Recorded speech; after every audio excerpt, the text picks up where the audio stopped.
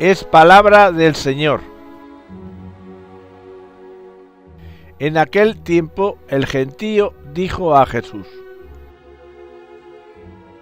¿Y qué signo haces tú para que veamos y creamos en ti?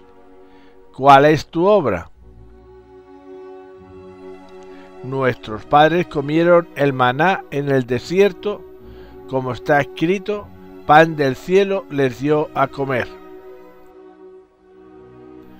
Jesús les replicó, en verdad, en verdad os digo, no fue Moisés quien os dio pan del cielo, sino que es mi Padre el que os da el verdadero pan del cielo.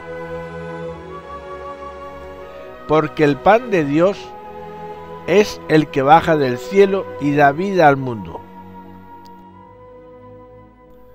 Entonces le dijeron, Señor, danos siempre de este pan.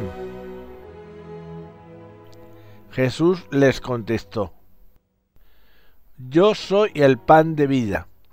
El que viene a mí no tendrá hambre, y el que cree en mí no tendrá sed jamás.